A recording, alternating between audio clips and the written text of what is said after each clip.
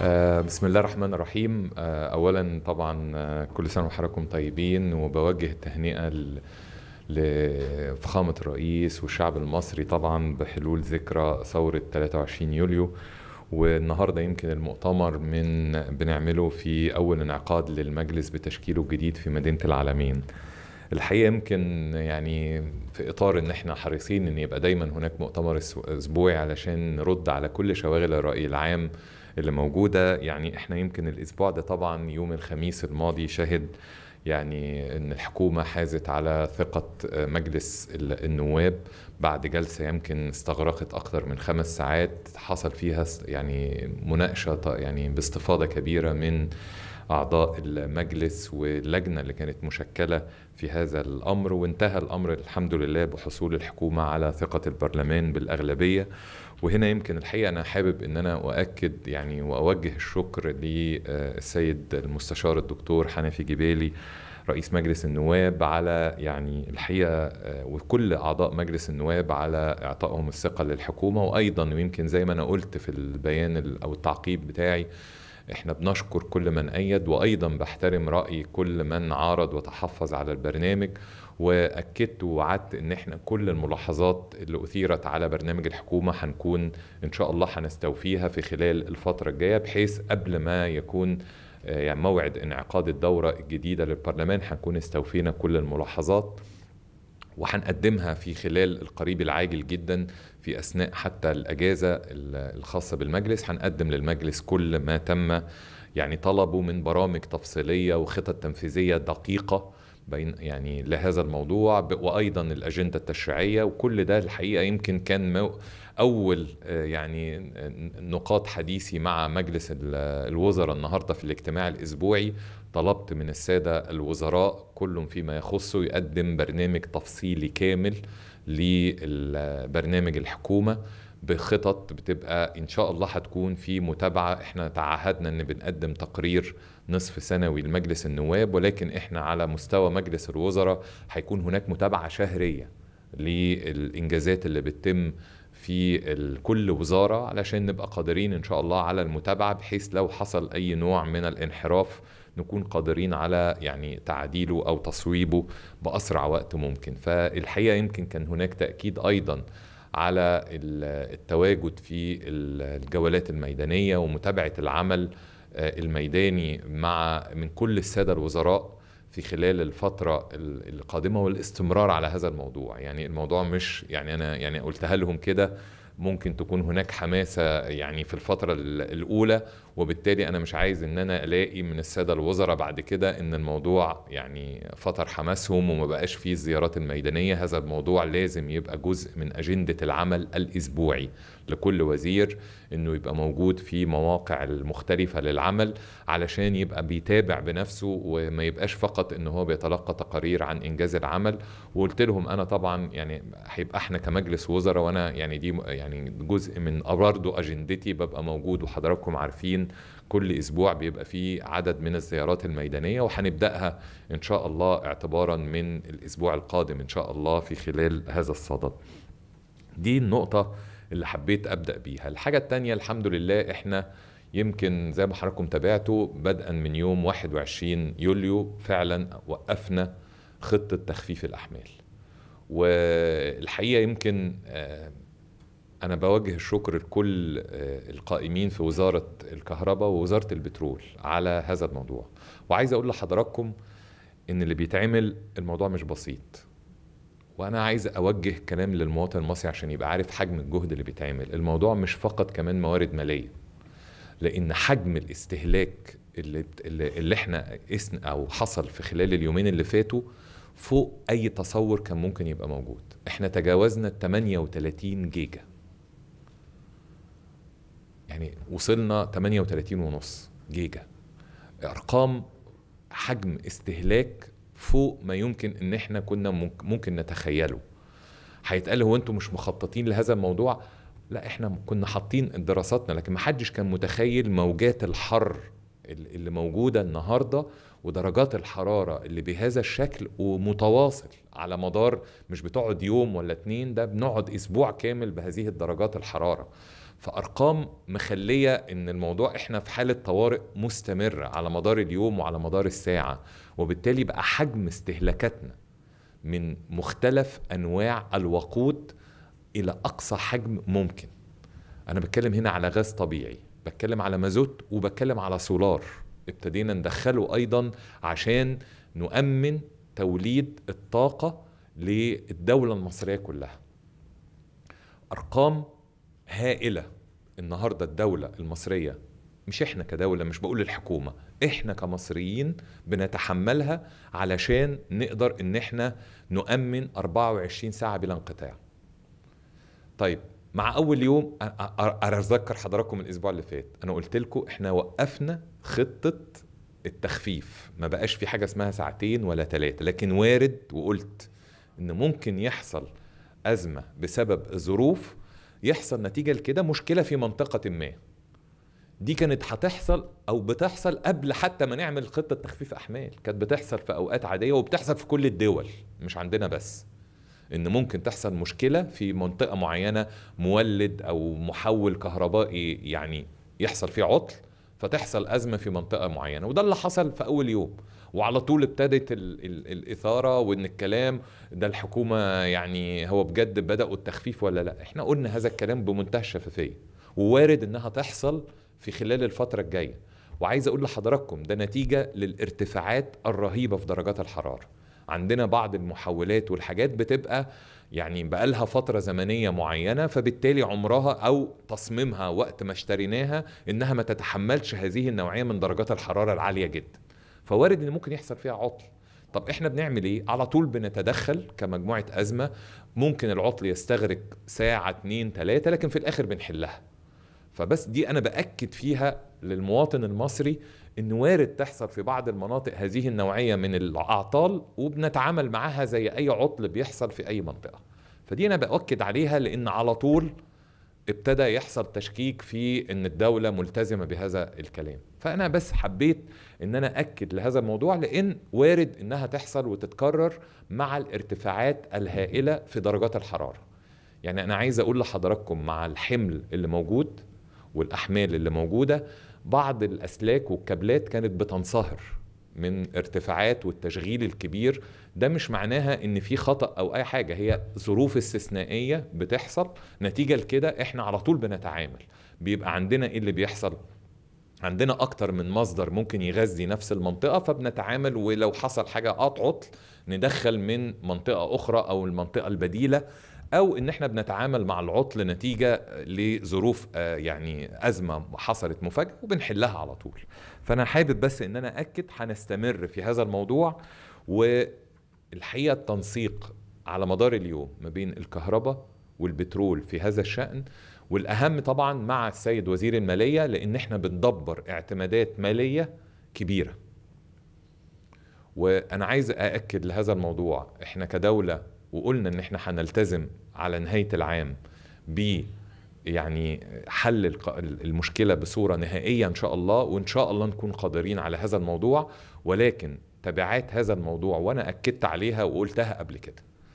الدعم الكبير جدا أو الفرق الكبير والكلفة ده لا يمكن الدولة المصرية تتحمله. عشان كده وقلناها أكتر من مرة إن إحنا بنتدرج بطريقة مخططة في زيادة أسعار بعض هذه الخدمات بصورة متدرجة ومتأنية علشان ما نحملش بصورة كبيرة جدا على المواطن وعشان ما نعملهاش مرة واحدة. عشان كده يمكن لما طلعت وقلت إن إحنا هنتدرج في زيادات أسعار المنتجات البترولية هناخد سنة ونص علشان فقط أوصل لنقطة التوازن. وقلناها لغاية نهاية ديسمبر 25 عشان نقدر نقول إن إحنا وصلنا لعملية التوازن في موضوع الدعم اللي بيقدم للمنتجات البترولية. ودي نقطة إحنا بناخدها بطريقة متدرجة عشان ما تأثرش في التضخم وعشان ما تسمعش بصورة كبيرة مع المواطن وأعباء وتمثل عليه أعباء مالية. لكن لازم إحنا كدولة لأن لا يمكن إن إحنا نتحمل إلى يعني إلى ما لا نهاية حجم الهائل في فرق الدعم اللي كل مرة بيزيد كل سنة بيزيد. أو كل فترة عمال يزيد نتيجة لحجم الاستهلاك الكبير اللي بيزيد والأسعار العالمية اللي بقت موجودة. اللي عايز أطمن حضراتكم عليه إحنا مش ساكتين فقط عشان أعدي الصيف ولا عشان النهارده إن أنا فقط أتكلم على آه، الفترة القادمة لكن إحنا حطينا حاطين حلول النهارده.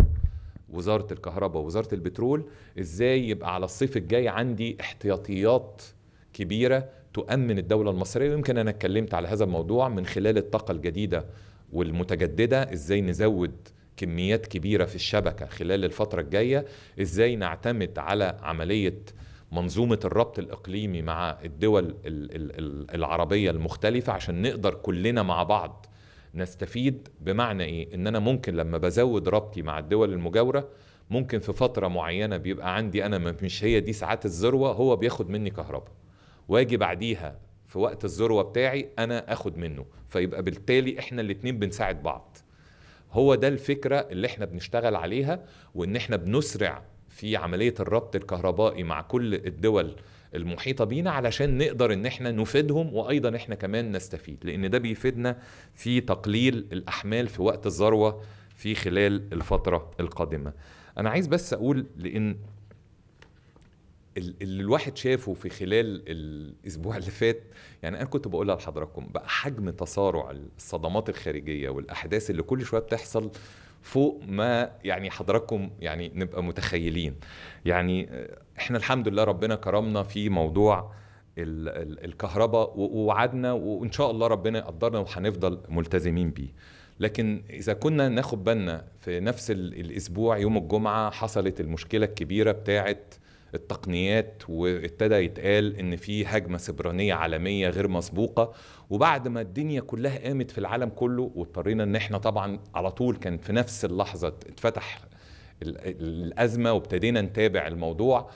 بعد كده تبين بما لا يدع مجال للشك إن هو مشكلة تقنية فنية حصلت في تحديث برامج وحماية والكلام ده كله أدت إلى إن هو كان البرنامج مش مش معمول بطريقة سليمة من الشركة العالمية وراح موقع ال ال ال ال الكمبيوترات وأجهزة حاجات كتيرة وأثر على الطيران وعلى البنوك وعلى كل ده في كل حتة في العالم. النهارده كان ده محور نقاش وكان لسه من يوم أو اتنين كنا عاملين اجتماع امبارح لهذا الموضوع ولكن النهارده خدنا إجراءات وقرارات جوه مجلس الوزراء عشان تحسبا من لو لا قدر الله في هجمات سبرانيه أو لو حصلت مشكلة زي دي تانية هنتعامل معاها إزاي. أنا كل ده بقوله لأن على طول بتطلع يعني الشيء بقى إحنا كل يوم يعني أنا يعني أنا بتكلم بمنتهى الأمانة والشفافية معاك. كل يوم بنصحى مع مجموعة شائعات وحاجات بتطلع هدفها إنها تعطي انطباع سلبي للمواطن المصري وإحنا مطالبين على طول إن إحنا نتعامل ونطلع ونرد على هذا الموضوع. زي ما طلع كده واتقال يعني آه، الموضوع بتاع مصر اتشال من صندوق النقد الدولي والبرنامج والكلام ده كله وإحنا مش واخدين بالنا وإحنا بنطلع حاجة زي كده إزاي ممكن نضر بحال بالوضع بتاع البلد. اللي بيطلع هذه الكلام وبيبقى عايز إن هو يعني يقول أنا بعمل سبق بهذا الموضوع وهو مش واخد باله هو ما تحراش حتى الأول هو الكلام ده صح ولا لأ. مش واخد باله إن ممكن ده يكون ليه تداعيات سلبية جدا على البلد في هذا الموضوع. برضو الطريق اتحركنا وتواصلنا وعملنا وطلعت البيانات اللي بتؤكد إن الملف بتاع مصر موجود وزي ما هو في البرنامج. فوجئنا بعديها بيوم باشاعه سقوط طائرة مصرية ما في- يعني حضراتكم كمصريين لازم ناخد بالنا. في ناس قاعدة يعني أنا آسف متفرغة ليه إزاي إن أنا أشيع حالة من الطاقة السلبية والإحباط في الدولة المصرية. فلازم نبقى واخدين بالنا إن إحنا الأمور إزاي ماشية وإحنا كدولة يعني بنتعامل والحكومة بتطلع وبتتكلم بصورة عامة لكن إحنا كمان لازم نبقى واخدين بالنا من تداعيات اللي بيحصل. إن كل يوم في غرض إن يعني يبقى في نوع من الأخبار يعني أنا آسف المغلوطة والسلبية اللي يعني تؤدي ان إن الناس تبقى يعني مهمومة وزعلانة إن في حاجة بتحصل. وده جزء من اللي إحنا قلنا عليه حروب الجيل الرابع والخامس اللي بتحصل على مستوى العالم. فلازم إن إحنا كلنا نبقى واعيين بهذا الأمر علشان نبقى عارفين قد إيه في الظروف اللي إحنا فيها واللي زي ما حضراتكم شايفين بدون يعني أتكلم في تفاصيل كل يوم في حتة في العالم بيحصل حاجة. وتغيرات بتحصل وتداعياتها على العالم كله بما فيه مصر. فعشان كده يعني أنا حابب إن إحنا لازم يبقى عندنا نوع من الثقة ما بين ال- ال- ال- ال- المواطن والدولة بأجهزتنا إن إحنا بقدر الإمكان بنحاول نتعامل مع مناخ يعني في حالة عدم يقين غير مسبوقة. وازاي ان إحنا بقدر جهدنا بنحاول ان إحنا نحل الازمات اللي موجودة وان شاء الله ربنا يقدرنا على هذا الموضوع. ودايما هنكون حريصين من خلال هذا المؤتمر ان إحنا نرد على اي شيء يثار في هذا الامر. الشيء الجيد طبعا ان إحنا يمكن الأسبوع برضو الماضي كنا يعني عقدنا أول اجتماع للمجموعة الوزارية الاقتصادية. والمجموعة عشان برضو أثير هذا الموضوع المجموعة التشكيل بتاع طبيعة تشكيل المجموعة هو اللي موجود بقاله يعني عشر سنين وأكتر يعني نفس التشكيل ولازم بيضم كل الوزارات وأيضا البنك المركزي لأن إحنا بنتكلم على الاقتصاد بتاع البلد كله. وأي قضايا بيناقش فيها جوه مجلس المجموعة الاقتصادية بيبقى لازم فيها الشقين النقدي والمالي. لما بنيجي نتكلم على موضوع يعني تدبير المنتجات البترولية. ما هو ده لازم البنك المركزي يبقى معانا لأن الموضوع مش تدبير عملة محلية فقط ده تدبير عملة صعبة. لما بنتكلم على منظومات وقرارات معينة لازم يبقى معانا البنك المركزي لأن ده كله بيؤدي أو بيؤثر على الاقتصاد بتاع الدولة المصرية. لكن الشيء المهم جدا أعتقد ودي رسالة مهمة لأنها أثيرت حتى وإحنا موجودين في البرلمان على موضوع الدين. وأنا اتكلمت على هذا الموضوع بصورة واضحة جدا وقلت إحنا كدولة شغالين بجهد كبير جدا على السيطرة على الدين وتخفيض الدين. أعتقد الأرقام اللي ظهرت والبنك المركزي أعلنها إن الدين الخارجي لمصر من كان في ديسمبر 168 النهارده بقى 153 وشوية. يعني الحقيقة يعني نزول كبير جدا أكتر من 14 و2 من 10 مليار دولار في خمس شهور. الاحتياطي بتاعنا اللي زاد بصورة كبيرة جدا.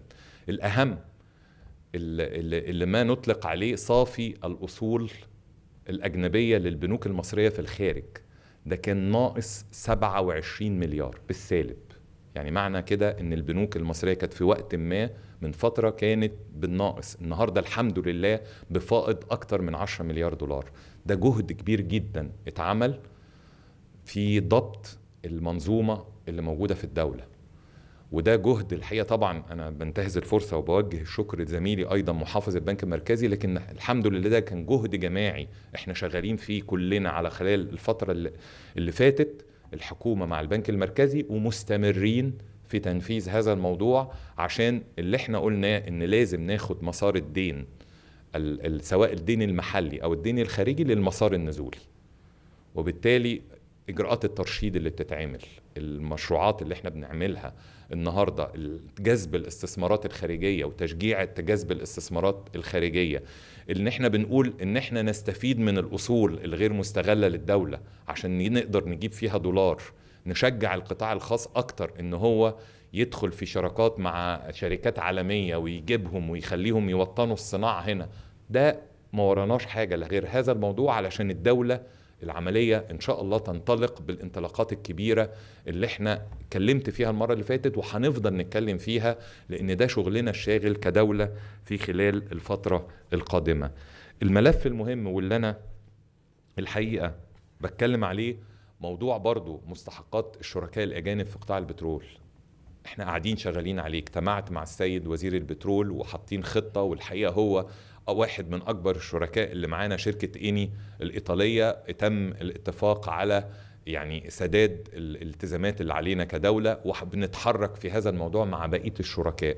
لأن كل اللي يهمنا كل ما هنقدر نجدول ونلتزم معاهم كل ما هم هيزيدوا من عمليات الإنتاج والاستكشاف في الفترة القادمة. لأن كل شغلي مش فقط إن أنا يعني أقلل من است يعني استخدام الموارد البترولية والكلام ده كله لكن لازم أزيد الإنتاج المحلي بتاعنا ونرجعه إلى أرقام أعلى من اللي كانت عليه فيما سبق. أنا بس بأكد على هذه النقاط علشان إحنا هدفنا الفترة الجاية إن إحنا نشجع مزيد من الاستثمارات في قطاع البترول وبالذات في الزيت الخام والغاز للفترة القادمة. أنا عايز هنا بس أشرح لحضراتكم أيضا إحنا آخر ودي كانت آخر نقطة عايز أتكلم فيها. أنا اتكلمت على أزمة الدواء وقلت لحضراتكم إن إحنا شغالين على هذا الموضوع وإن شاء الله في خلال ثلاث شهور يعني هنقدر إن شاء الله نتجاوز هذه الأزمة زي ما قدرنا الحمد لله ربنا كرمنا في موضوع الدولار وفي موضوع الكهرباء بنتحرك. مع ذلك طبعا أنا عارف أثير برضو على مدار الفترة اللي فاتت ما هو في نقص والكلام ده كله وأنا قلت إن إحنا إن شاء الله في أدوية في خلال شهر هتبقى نقضي على عملية النقص الأدوية وهنبدأ بعديها الشهر اللي بعده هتدخل مجموعة تانية والشهر الثالث هتدخل مجموعة ثالثه عشان نخلص هذه الأزمة. لكن نتيجة لأن برضو أثير هذا الموضوع وكان مسار كلام وتعليقات أنا تعمدت إن أنا أجيب الدكتور علي الغمراوي معايا رئيس هيئة الدواء عشان يدينا كده في عجالة تفصيلا إيه اللي هيحصل في خلال الثلاث شهور الجاية في هذا القطاع عشان يبقى المواطن المصري مطمئن إلى إن إحنا إن شاء الله هنرجع تاني عملية الاتزان في سوق الدواء.